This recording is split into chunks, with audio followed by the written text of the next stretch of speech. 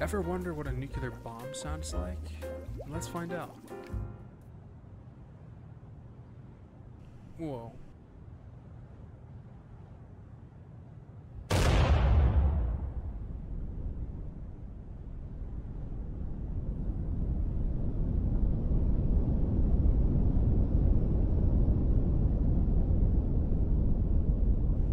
That's like continuous thunder or something.